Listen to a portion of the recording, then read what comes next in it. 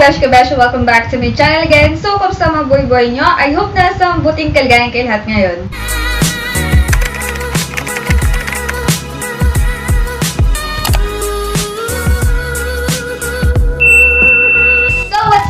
Kabesh kabesh? Welcome back to my channel again. At ayun, 2 weeks na naman bago tayo nakapag-upload ng video, di ba? Napakahusay, napakatagal na muna lumilipas na araw bago makapag-upload ng bago. So, napaka-busy talaga kasi sa school. At may mga video clips ako na kung ano ba yung pinagkakabisiyan ko sa school. Pero ang nag-video nun is classmate ko kasi nagkakator ako ng mga panahon ngayon. So, yun, isingin ko na mamaya yung video na yon kasi kaklase ko yung nag-video nun. So, for today's video, mga kabesyo-kabesyo, at hindi natin ito papaligoy-ligoy. hindi na natin ito papaligoy-ligoyin. Ay, mali. Hindi na rin tayo magpapaligoy-ligoy pa. So, for today's video na kasi is magre-review tayo ng makeup na binili pa nung October 31 pero since nun, hindi ko pa siya napakialaman, hindi ko pa siya na-try gamitin, kasi nga, i-vlog ko talaga at i-review ko siya. So, ito yon Eyeshadow and then highlighter. So, yon Ano ba? Bubuksan ko ba or mamaya na lang? Siguro mamaya na lang. So, yon Start na tayo. And mga kabesh-kabesyo, nakapagtali na tayo ng buhok. At nakikita nyo na naman ng palipara ng mga eroplano. Charot. So, napakalaki talaga ng noo ko kapag nakatali ako. Kahit naman nakalugay, malaki talaga yung noo ko. Since birth is malaki na yun natin wala tayong magagawa. Ang una natin i-apply is the BB cream or the liquid foundation. So, first time ko nagkaroon nito, binili ko sa Watson for only 168 BB cream.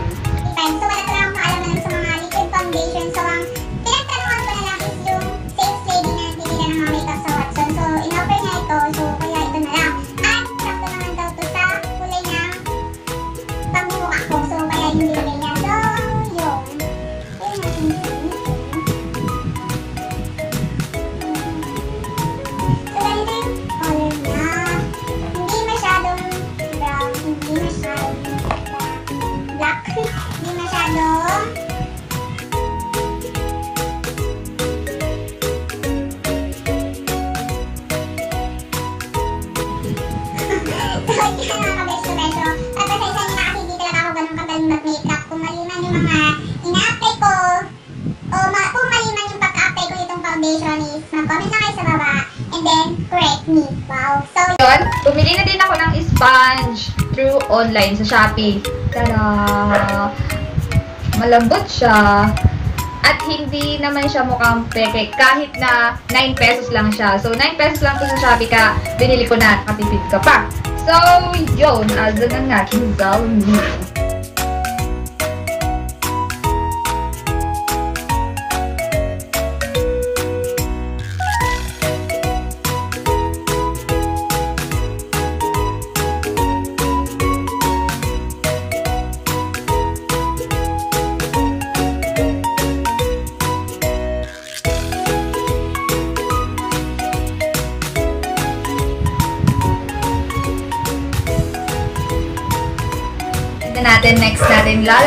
The powder. So, ang gagamitin kong powder is galing sa Avon. So, gagamitin natin. And then, medyo gamit na to kasi, kasi tingnan nyo naman, diba? Paubos na.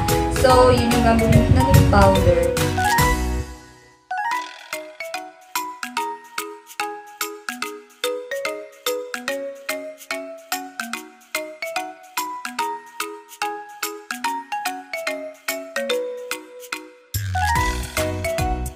Concealer ay nalaglag. So, ang concealer na gagamitin natin is galing sa Hairline at kung mapapansin nyo is paubos na din siya. Kasi sobrang tagal ko na din itong ginagamit. Diba? Paubos na rin. Almost. Well, almost. Al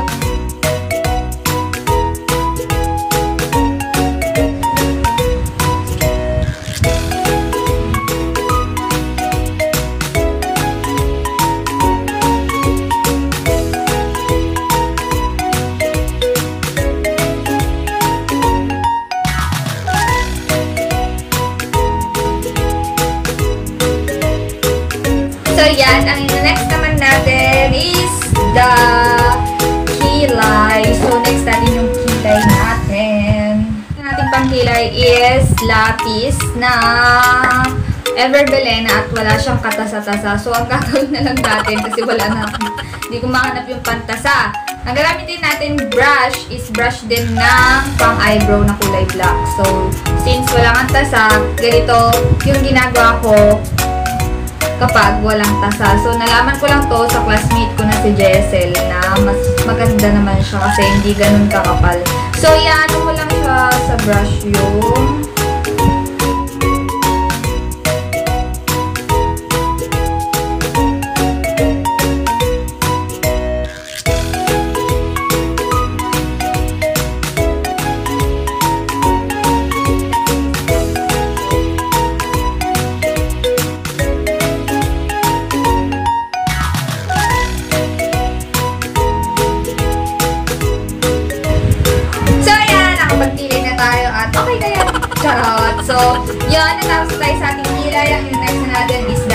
the eyeshadow. At ito na yung i-review nating prod, pro? product na binili natin sa oh, mukha ko. So, ito siya. Fashion 21 ang brand niya, color set. Yun yung pangalan niya, bubuksan na natin. Ngayon pa lang natin siya ito-try at ngayon ko pa lang din siya gagamitin. Kasi nga, since yung 31, hindi ko pa talaga siya nagawa ng video. So, yan siya. Yan yung balot niya. And then,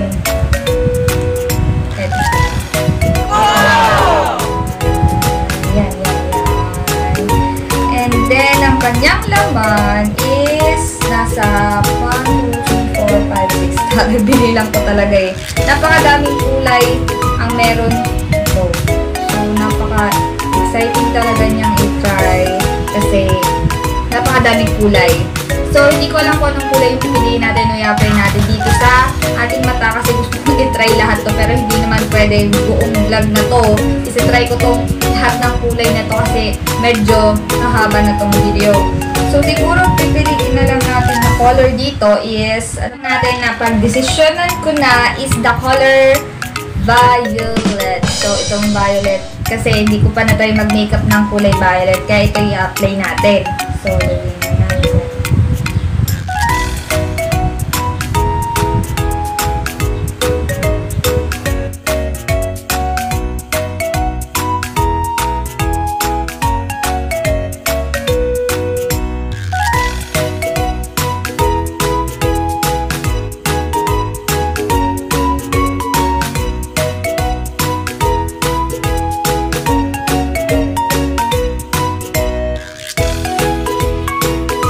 Nalagyan na natin ng color violet ang ating mata o ating talukap. At ayun, nilagyan mo din siya ng konting shimmery shimmery na kulay violet na dito ko rin kinuha sa...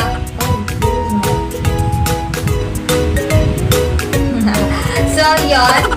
Next na natin, ay, next tuloy. Ang masasabi ko lang dito sa Forever 21 na eyeshadow palette is maganda naman siya pero medyo pricey bilang student at talagang pag-iipunan mo bago mo mabili. Kung gugustuhin mo talaga at kung desidido kang bilhin at kung desidido kang matuto mag-makeup at kung pag-aaralan. So, ako kasi hindi pa ako ganun kahusay sa pagbe-blend ng mga colors in terms of eyeshadow. So, hindi pa tayo ganun kagaling kagaya nila Michelle D, mga ganun. So, lahat naman nag-start sa pag-aaral o nag-start sa pinakauna bago matuto o bago maging magaling. So, yon Next na natin is the liquid eyeliner. So, magpupunta tayo ng liquid eyeliner. Magpuput na tayo ng liquid eyeliner sa ating mata. Oh, yun nga.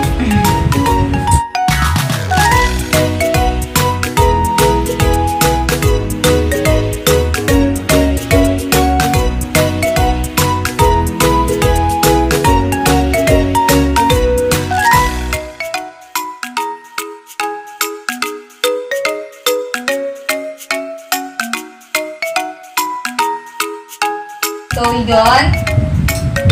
So, since tapos na tayo mag-apply ng ating liquid eyeliner, ang next naman natin, wow, napaka-pabebe ko talaga. So, nose line. So, bihira ko maglagay ng nose line sa mga makeup na ginagawa ko. So, ngayon is maglalagay tayo.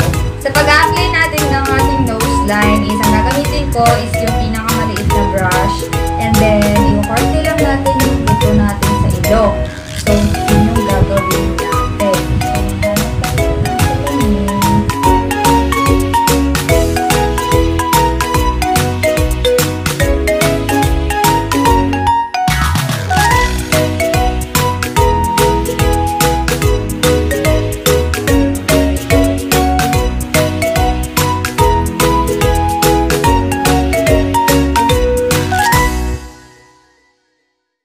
I-curl natin yung eyelash natin kasi nakalimutan kong i-curl kanina at hindi pa din natin nalagyan ng mascara. So, yun ang ating gagawin na yun. Ah, and then we put the mascara na galing din sa Avon. Suking-suki na may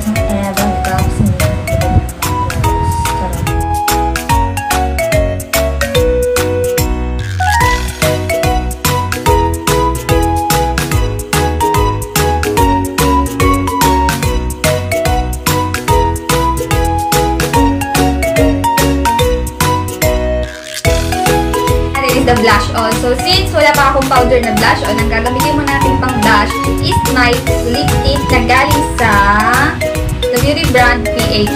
So, nagkakahalagang 150 pesos per. Nagkakahalagang 150 pesos to na 5 ml lipstick and tint. So, yon itong lipstick and tint na to is na-review ko na din to nung mga nakaraang video ko. So, yun ito yung gagamitin natin.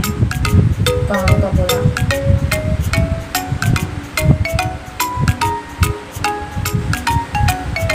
So, ba nakita niyo is napakadali na lang i-blend sa ating pisngi.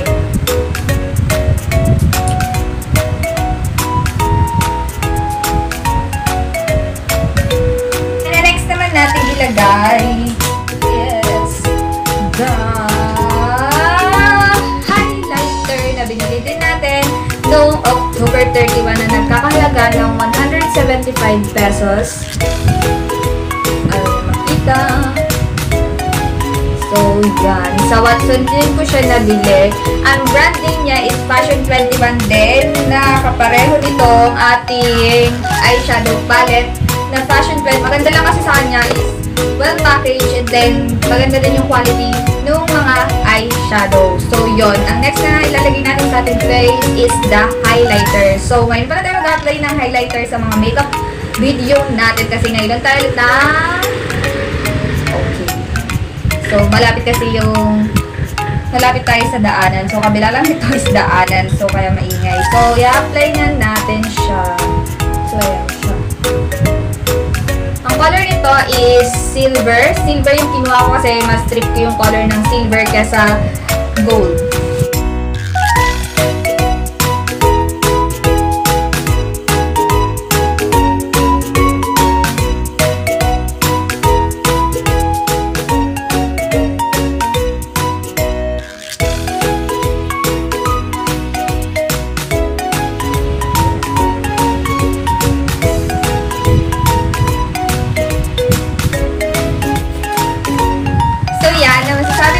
Sa ay, sa highlighter na to ng Forever 21 is napakaganda niya lang para sa akin. Siyempre, first time kong gumamit ng highlighter sa aking face kasi ngayon lang tayo nakabili. So, 175 pesos siya na ganito lang siya kaliit at color is silver. Yan, mag-lipstick naman tayo. So, ang gagamitin ko na lang sigurong lipstick is Hmm, ano malay lang din. So, mas strict kung mag-lip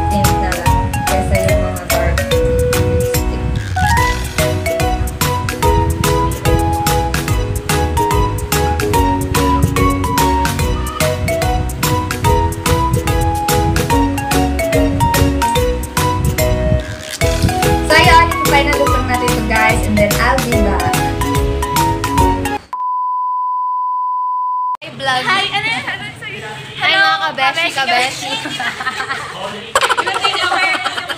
Sige, mag, mag-hi kayo. Mag-hi kayo sa vlog. Mag-hi kayo.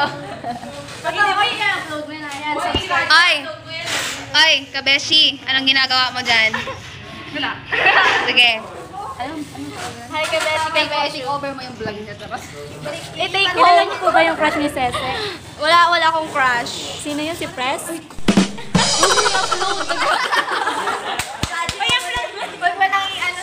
Nag, anong tawag dito? Nag, ano po kami? Ano? Hindi, naggagawa kami na freebie. Standy. Freebie. 3D? Akala ko freebie. Nagawa kami ng standy. Yung manager po na. um, Mamaya na lang ulit. Ay, takay mo na, takay na. We're back! So, ayun po kami dun sa...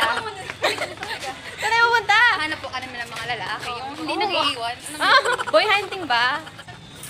Nagpapaganda po. Magkikita sila mamaya ng date. Magkikita ka sa vlog, yung pinakapangan sa marketing. Lang, ito yung kuya kong kupal. Crush siya doon si Kaori, pero hindi siya crush ni Kaori. Okay, may kinig dito. Niloloko lang kayo nan. No, I'm saying the truth. Ayan, ayan sila, oh. Yun, mga kabesh ko I'm back and again and again and as you can see, ang ating face is um, ito, diba? Nakakaumag talaga yung highlighter kasi tingnan mo. So yun, thank you for watching this video mga kabesh kabesho and don't forget to subscribe, like my YouTube channel at pindutin nyo na din pa notification bell para manatag kayo